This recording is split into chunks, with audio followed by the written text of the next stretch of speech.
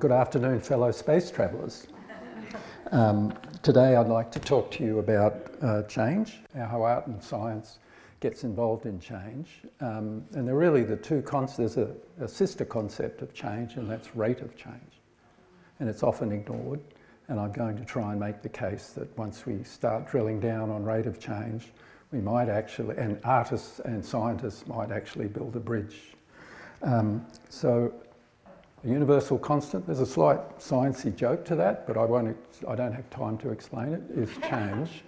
Um, and I just wanted to point out what some painters on canvas have done in different rates of change. So Mona Lisa, Da Vinci's painting, uh, how long do you think she held that beautiful, mysterious gaze? And um, then we have Arthur Streeton, uh, that particular painting I enjoyed enormously when there was an exhibition at the Art Gallery of New South Wales. It's called Sunshine. How long do you think the sun was shining? So, um, and then Renoir, the boating party. Just get that idea of photograph has been taken, and there is change. Somebody, you know, moved up to say something to somebody else, and then somebody moved off. Um, and then finally, uh, Boccioni is, is an Italian artist who went into dynamism, and he wanted to show change on a two-dimensional canvas.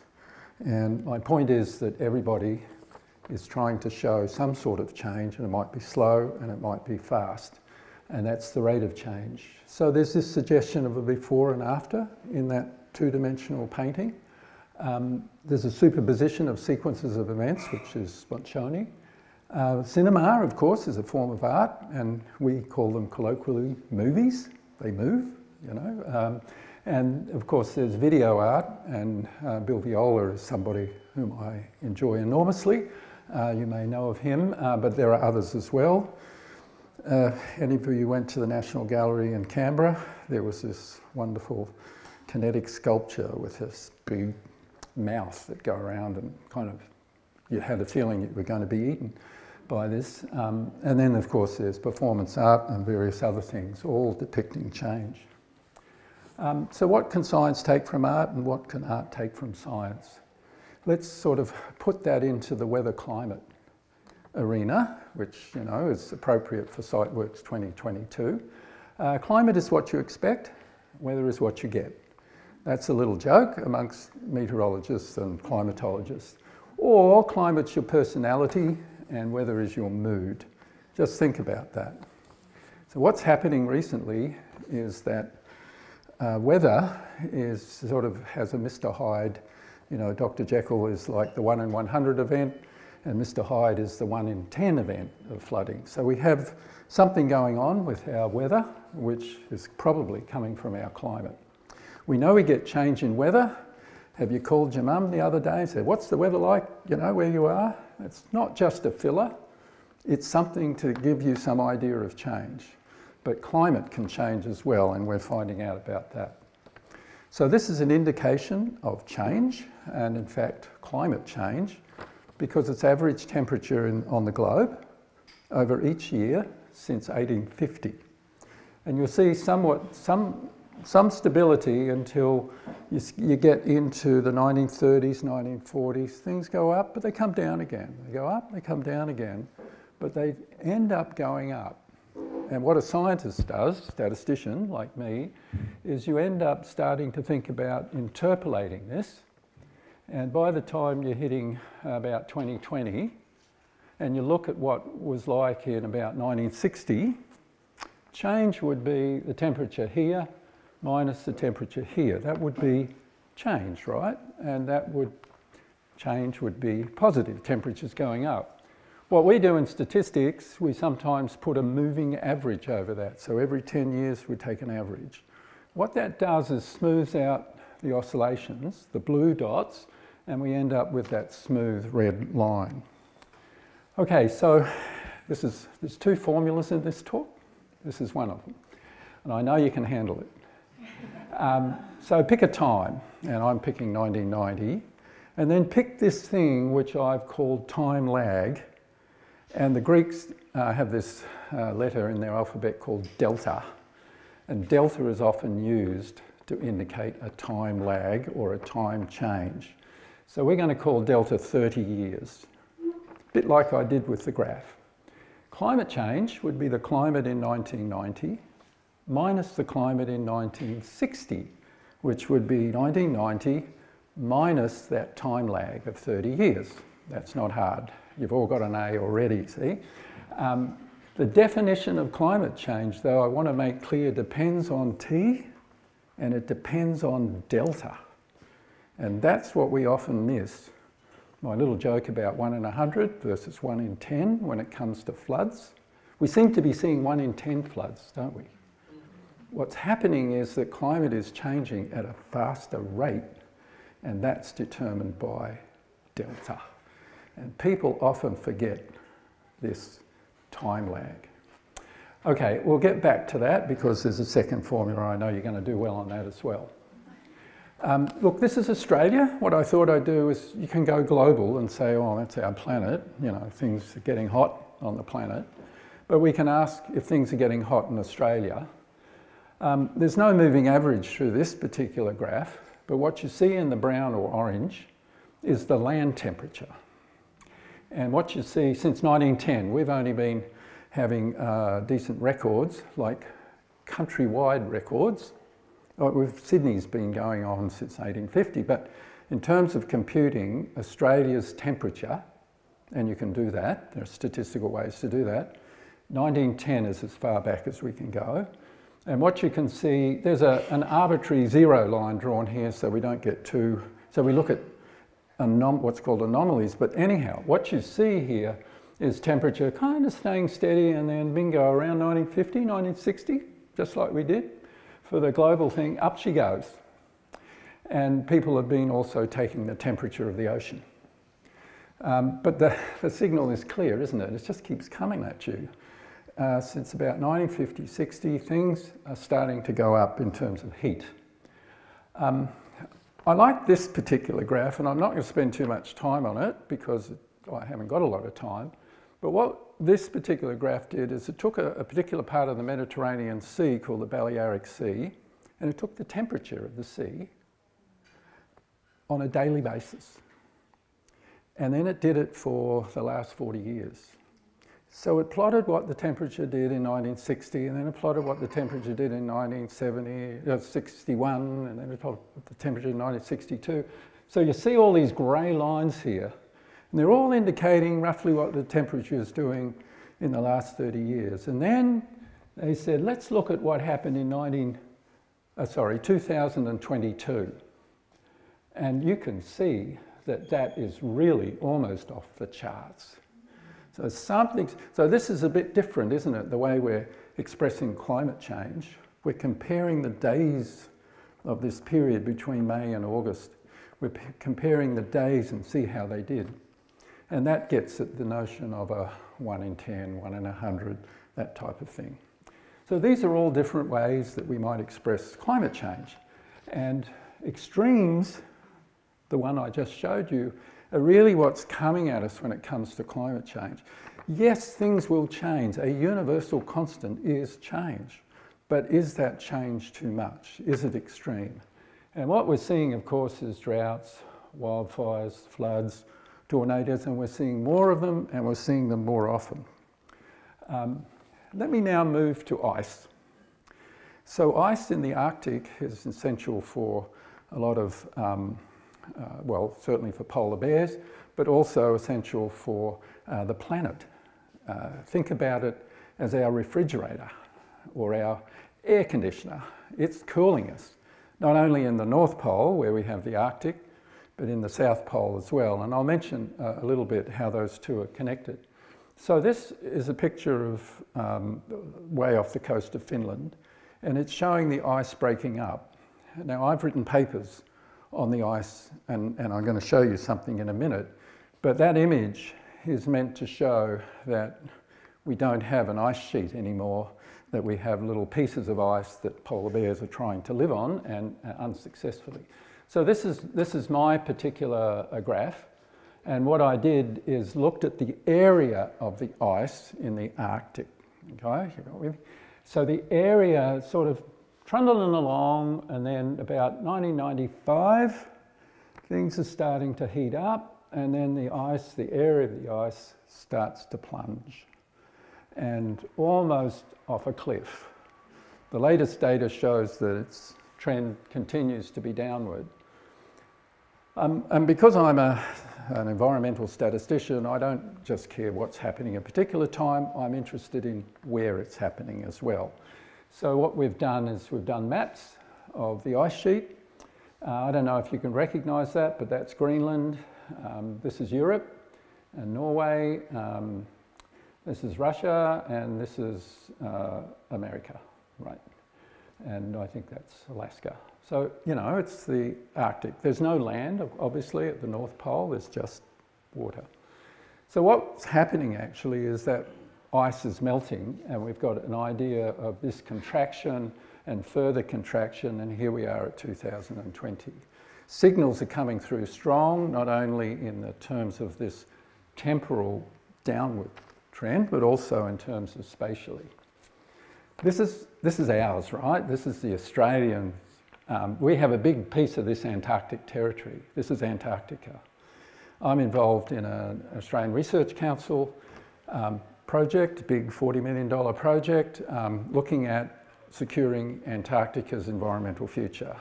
And this represents the ice sheet around Antarctica and that blob is the blob of land with glaciers and ice um, uh, streams as well coming off it.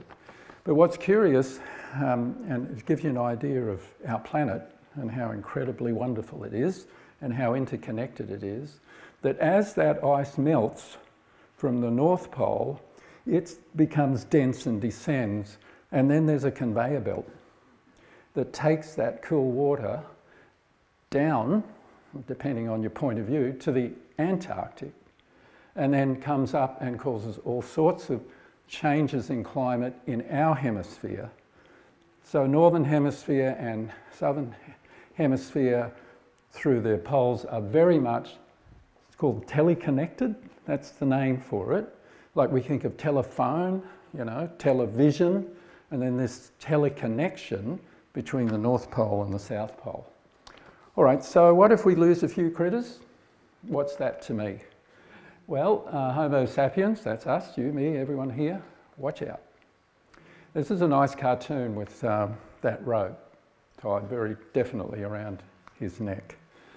Um, so we, live on this wonderful planet, planet. We're fellow space travelers, we're moving through space, and we have, and there aren't many others, planets like ours.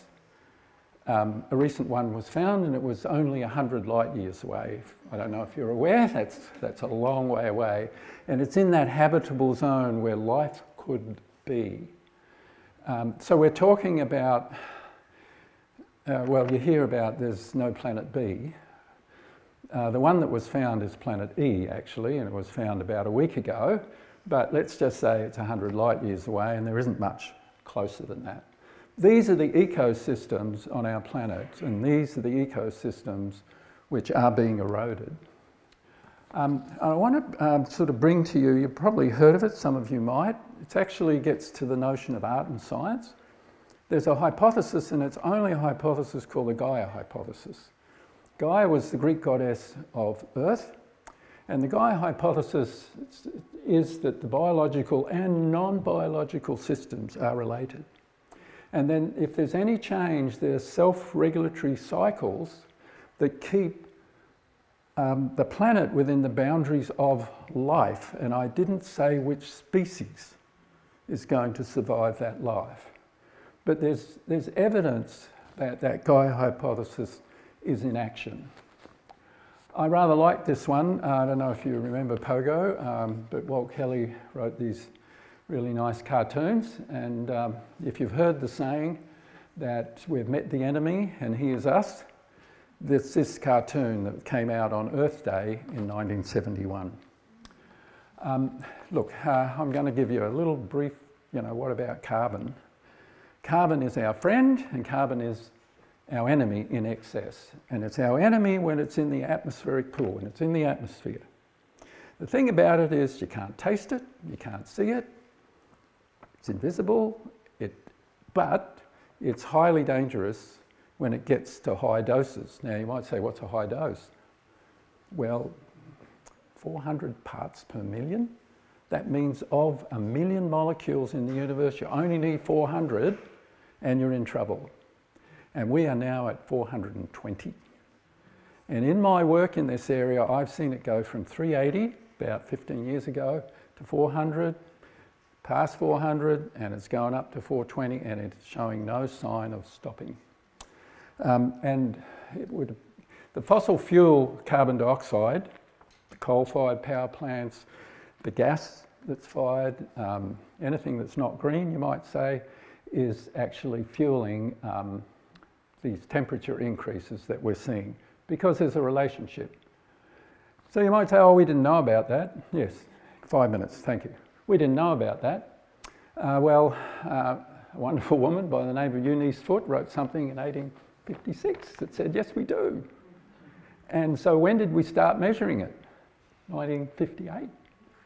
What the heck has been going on? When, how long have we been producing carbon dioxide? Since the beginning of the industrial period, 150 years before.